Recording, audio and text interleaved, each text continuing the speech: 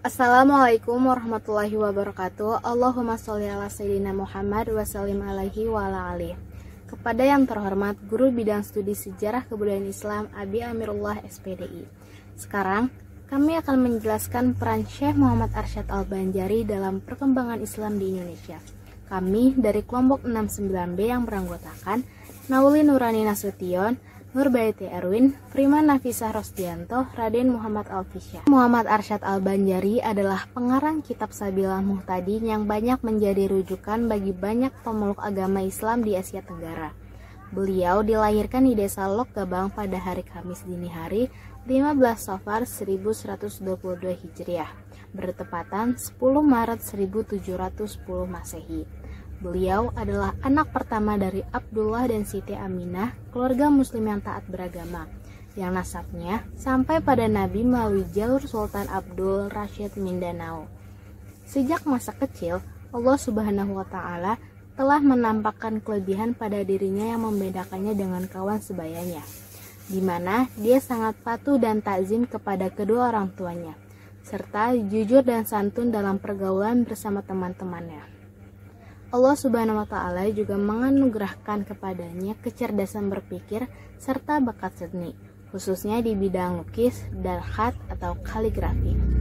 Pada suatu hari, Sultan Kala Sultan Kerajaan Banjar atau Sultan Tahmidullah mengadakan kunjungan ke kampung-kampung dan sampailah ke kampung Lok Gabang. Alangkah terkesimanya sang sultan manakala melihat lukisan yang ingin menawan hatinya.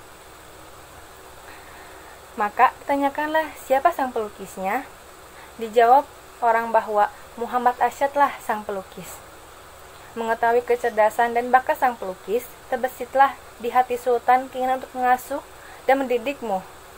Arsyad kecil bersama dengan anak-anak dan cucu-cucu di istana, yang ketika itu baru berusia kurang lebih tujuh tahun, Sultan pun mengutarakan goresan hatinya kepada kedua orang tuamu. Pada mulanya, Abdullah dan istrinya merasa enggan melepas anaknya yang tercinta. Tapi, demi masa depan, sang buah hati yang diharapkan menjadi anak yang, terbak yang berbakti kepada agama, negara, dan orang tua, maka diterima tawaran sultan tersebut. Kepadayanmu, Arsyad dalam membela diri, sifatnya rendah hati, kesederhanaan hidup, serta keseluruhan bukti pekerti, menjadikan segenap warga di istana sayang dan hormat kepadanya. Bahkan Sultan pun memperlakukannya seperti anak kandung sendiri. Setelah dewasa, beliau dikawinkan dengan seorang perempuan soleha bernama Tuan Bajut, seorang perempuan yang taat lagi berbakti pada suami sehingga terjalinlah hubungan saling pengertian dan hidup bahagia. Seiring sejalan, seia sekata bersama-sama meraih ridho Allah semata. Ketika istrinya mengandung anak pertama, terlintaslah di hati Muarsyad suatu keinginan yang kuat untuk menuntut ilmu di tanah suci Makkah. Maka disampaikannya lah hasrat, hasrat hatinya kepada sang istri tercinta. Meskipun dengan berat hati mengingat usia pernikahan mereka yang masih muda, akhirnya istrinya mengabulkan niat suci suaminya dan mendukung dalam meraih cita-citanya. Maka setelah mendapat restu dari Sultan, berangkatlah Muar Arsyad ke tanah ke tanah suci mewujudkan cita-citanya. Derayan air mata dan untayan doa mengiringi kepergiannya. Di tanah suci, Muar Arsyad mengaji kepada syekh-syekh termukai pada masa itu. Di antara guru beliau adalah Syekh Atoilah bin Ahmad Al-Misri, Al-Faqih Syekh Al-Faqih Syekh Muhammad bin Sulaiman Al-Kurdi dan Al-Arif Billah Syekh Muhammad bin Abdul Karim Al-Saman Al-Hasani Al-Madani. Syekh yang disebutkan terakhir adalah gurumu. Arsyad di bidang tasawuf, di mana di bawah bimbingannya lahmu, Arsyad melakukan suluk dan kiawas sehingga mendapat ijazah darinya dengan kedudukan sebagai khalifah. Menurut riwayat, Khalifah Al-Syed Muhammad Al-Saman di Indonesia pada masa itu, hanya empat orang, yaitu Syekh Muhammad Arsyad Al-Banjari, Syekh Abdullah Rahman Masri atau Betawi, Syekh Abdullah Somad Al-Palembani atau Palembang, dan Syekh Abdul Wahab Mugis. Mereka berempat dikenal dengan empat serangkai dari tanah Jawi. Yang mana yang sama-sama menuntut ilmu di Haramain Al-Syarifain. Setelah lebih kurang 35 tahun menuntut ilmu, timbullah kerinduan pada kampung halaman. Terbayang di pelupuk mata, indahnya tepian mandi yang diarak barisan pepohonan, aren yang menjulang. Tergiang kecauan burung pipit di pematang dan desiran. Desiran angin membelai hijaunya rumput. Terkenang akan kesabaran dan ketegangan dan ketegaran sang istri yang setia menanti tanpa tahu sampai kapan penantiannya berakhir. Pada bulan Ramadan 1186 Hijriah bertepatan 1772 Masehi sampailah Muh Arsyad di kampung halamannya Martapura, pusat kerajaan Banjar pada masa lalu. Sultan Tamjidillah, Raja Banjar menyambut kedatangan beliau dengan upacara adat kebesaran. Segenap rakyat pun mengeluh-elukannya sebagai seorang ulama matahari agama yang cahayanya diharapkan menyinari seluruh kerajaan Banjar. Aktivitas beliau sepulangnya dari tanah suci dicurahkan untuk menyebarluaskan ilmu pengetahuan yang diperolehnya, baik keluarga, kerabat, ataupun masyarakat pada umumnya. Bahkan Sultan pun termasuk salah seorang muridnya sehingga jadilah dia raja yang alim lagi wara. Setelah kurang lebih 40 tahun mengembangkan dan menyiarkan Islam di wilayah kerajaan Banjar, akhirnya pada hari Selasa 6 Syawal 1227 Hijriah atau 1812 Masehi, Allah Subhanahu wa taala memanggil Syekh Muhammad Arsyad ke hadiratnya. Usia beliau 102 tahun dan di desa Kalampayan, sehingga beliau dikenal dengan sebuta, sebutan Datuk.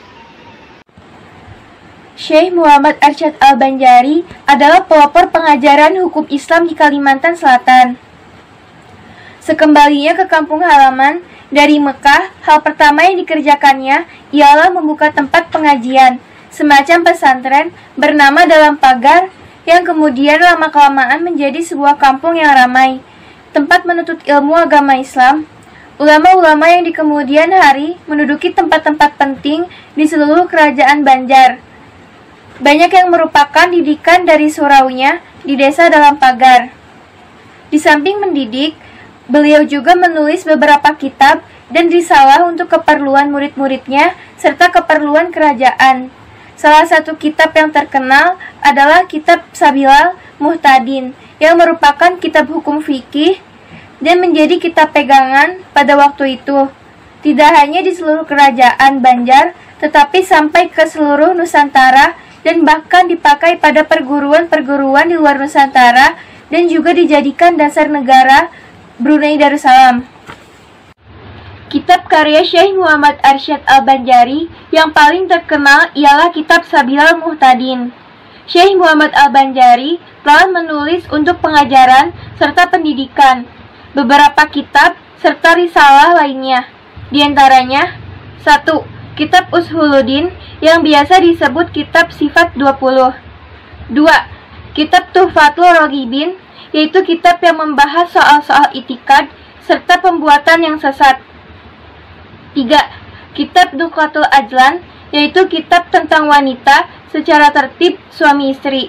4. Kitabul Faraidi semacam hukum perdata dari beberapa risalahnya dan beberapa pelajaran penting yang langsung diajarkannya oleh murid-muridnya kemudian dihimpun dan menjadi semacam kitab hukum syarat, yaitu tentang syarat syahadat, sembahyang, bersuci, puasa, dan yang berhubungan dengan itu disebut kitab perukunan. Sedangkan mengenai tasawuf, ia juga menuliskan pikiran-pikirannya dalam kitab Kansul Makrifah. Sudah menjadi tradisi kebanyakan ulama ketika mereka belajar dan mengajar di Mekah mereka juga menulis kitab di Mekah, lain halnya dengan Syekh Muhammad Al-Banjar bin Abdullah bin Abdullah walaupun dipercaya mengajar di Mekah. Namun karya yang dihasilkannya ditulis di Banjar sendiri. Ketika pulang ke Banjar, beliau sangat sibuk mengajar dan menyusun segala macam bidang yang bersangkut paut takwa, pendidikan, pentadbiran Islam. Walaupun begitu, masih sempat menghasilkan beberapa karya. Karya-karyanya antara lain adalah satu Tufa Ar-Ragibin fi bayani hakikoh Imam Al-Mu'minin. Wa ma yufsidu ridho Ar-Murtadin. Diselesaikan tahun 1188 Hijriah atau sama dengan 1774 Masehi. Dua Luktah al-Ajlan fi al-Haidi wa al-Istidhah wa an-Nifas an-Nishan diselesaikan tahun 1192 Hijriah atau 1778 Masehi. Tiga Sabil al-Muhtadin li at Kuhi fi amri ad-din diselesaikan pada hari Ahad 70 Rabiul Akhir 1195 Hijriah atau 1780 Masehi. 3. Risalah Kaul Al-Mukhtasar diselesaikan pada hari Kamis 22 Rabiul Awal 1196 Hijriah atau sama dengan 1781 Masehi. 5. Kitab Bad an-Nikah 6 Bidayah Al-Mubtadi wa Umdah Al-Auladi 7 Kanzu Al-Ma'rifah. 8 Ushul Ad-Din. 9 Kitab Al-Faraid. 10 Hasyah Fat Fatah Al-Wahhab. 11 Musaf Al-Quran Al-Karim. 12 Fatto Ar-Rahman. 13 Arkanu Taklim Ashiban 14 Bulug Al-Marom 15 fi bayani qadda wa al qadar wa al waba 16 tuhfah al ahdab 17 khutbah mutiyaqah Peran Syekh Muhammad Arsyad Al-Banjari dalam perkembangan Islam di Indonesia adalah satu sebagai orang yang gigih dan menuntut ilmu sampai ke Mekah dan Madinah. Dua, pengarang kitab Sabil Muhtadinyang sebanyak menjadi rujukan bagi pem bagi banyak pemeluk agama Islam di Asia Tenggara, tiga mensiarkan Islam sampai ke Asia Tenggara. Sekian penjelasan dari kami, kurang lebihnya mohon maaf. Wassalamualaikum warahmatullahi wabarakatuh.